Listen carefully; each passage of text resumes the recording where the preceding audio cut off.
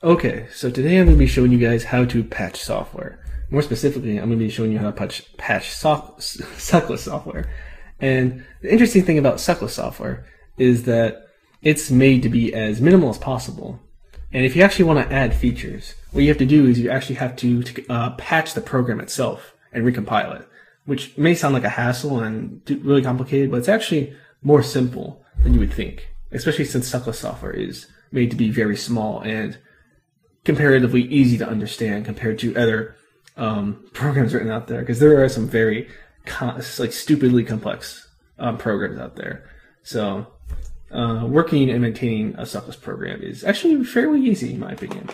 But today I'm going to be showing you how to apply patches and sort of customize um, what you want out of your um, pro uh, program, or in this case, suckless program. So I'm going to open, go ahead and open up a terminal. And I'm also going to go ahead and open up my web browser and go to suckless.org. And in this case, I'm going to be going, I'm going to go ahead and patching dmenu. And what dmenu is, is I actually have it installed on my system right here. But what dmenu is, is at its base level, it's actually a program launcher. But if you, uh, if you want to take take away from uh, you know the ability to launch programs. What it actually is is it's a menu, a, a, menu program, and you can use it for a lot of things. You can use it for scripts. You can use it for there's just a wide variety of things. Anything that can use a menu, you can use dmenu for, and it's a very simple, uh, plain menu program, and it works very well. I recommend using it. I'll actually make a video on it um, in the future, but for now, I'm just going to be patching it. So I'm going to go ahead and download dmenu. So I'm going to run git clone https colon slash slash git.suckless.org slash dmenu. And go ahead and download that and CD into it. And I'm going to go ahead and download some of these patches. So if you actually go to patches over, here, you can see a whole list of all these different patches. And I'm just going to select, let's say, two of these, um, just as examples. So I'm going to download, uh, let's do mouse support. That's a nice thing to have. So go to mouse support, uh, copy that URL, and download it using curl. There we go. So we have our first patch.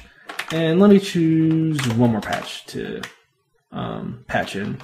So Let's do ooh, rejected no match. It's a good one.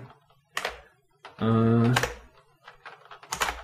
okay, let's copy that and download that using curl.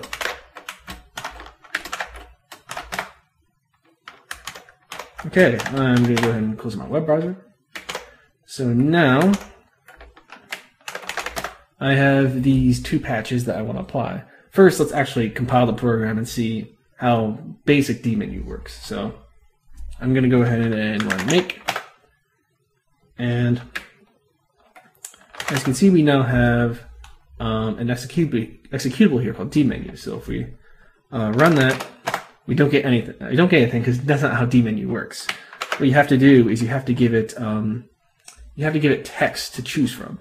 So if I do echo, uh, let's do some examples. Let's just do example test and text. And let's go ahead and pipe that into dmenu. So as you can see now, we have up here, we have three examples. We have example, test, and text. And uh, we can move our arrow keys to choose from these, or I can type in, let's just say test, and it will go ahead and match that option. So I'm gonna type, I'm gonna, I'm gonna select test, and it will print test to the standard output or your terminal. So that's the basic functionality, dmenu. Um, I'm going to actually go ahead and run make clean to get rid of that program because we're going to be patching it uh, adding on to it. So first things first, I'm going to patch mouse support. So in order to do that, what you need to do is you need to run the patch command and give it this little left arrow and a file name. Let's just say dmenu mouse support. And basically what this does is it, is it says uh, take the contents of dmenu mouse support and put it into patch. And then patch will go ahead and apply, apply the contents of the file to the program you're currently working on.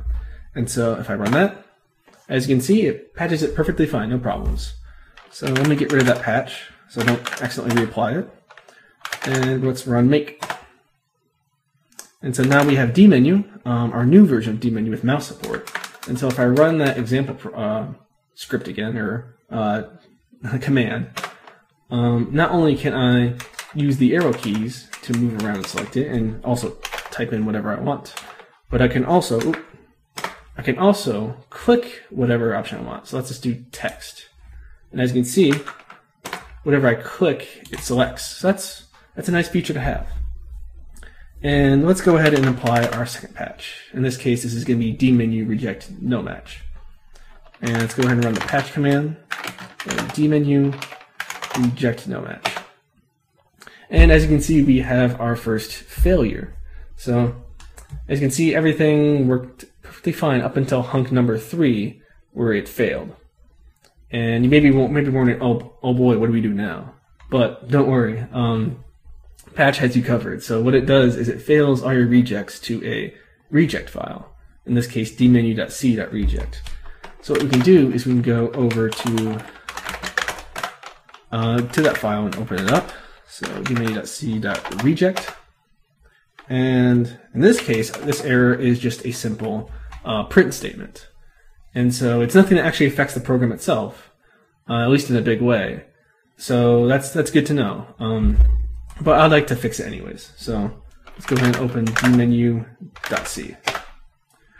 And so I'm going to go ahead and look for this function right here, usage void. So there we go, I found it. And so the difference here seems to be that we have an extra argument right here, v. So we can actually just add this single character. Um, or not v, sorry. Um, the r option. So we can actually go ahead and add that right now. Um, and there we go. We, uh, we applied the contents, our rejected contents of our patch. So let's get rid of dmenu.c.reject. Okay. And I'm going to go ahead and get rid of that patch because I don't need it anymore. And so that was an example of applying a fail patch because it is still possible to apply, apply a fail patch. Um, that one was extremely simple and um, not really that uh, critical at all. But sometimes you might be applying patches that change the entire way the program works, and that might uh, result in some conflicts. So uh, you'd have to you have to apply a lot more um, uh, logical thinking in order, to get around that. But uh, this is just an example. Uh, if you want to go ahead and patch stuff yourself, it's solving it's up to you. But um, so now that we have all of our patches applied, can go ahead and run make clean to get rid of our current program and go ahead and make the program again. Okay, and so now if we run that same example, example program, or example command, uh, we'll, everything works exactly the same, but we added, uh, since we added the reject no match um, patch, if we give dmenu-r, what it will do is it won't let us um, is it it won't let us run any um, it won't let us choose any of the options that aren't currently here. So for example, I can't type in hello and have it select hello. It can only choose one of the three options. Whereas with normal dmenu, if I were to do that, oh, if I were to do that with normal dmenu, as as I'm about to do right here, I could type in hello and it'll still do that. So that's interesting. That's a great patch to have if you only want to choose from a certain uh, selected number of options, and that's really how to um, how to use the patch command with uh, dmenu. There also is um, another interesting thing you can do with the diff command. And let's just say I have this program. Let me run make clean. Let's just say I want to take the changes that I've made in config.h, for example and I want to, um, or in this case, let's just say I want to take the changes I made in dmenu.c and give it to a friend for him to patch it.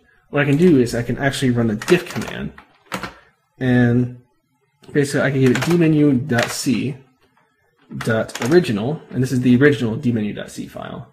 Um, patch will actually generate an origin a dot orig file or original file when you patch a program, just as a sort of backup.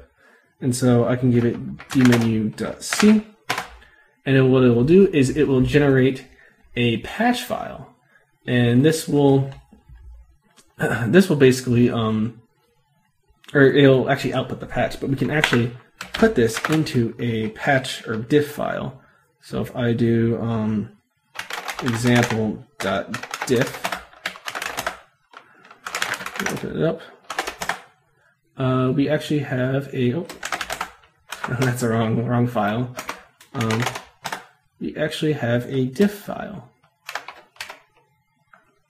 Of course, you can actually look at the man page and um, see what um, see what options you can use. Of course, there are different types of diff files. I think um, Suckless programs do use a special type A of diff, if I recall correctly.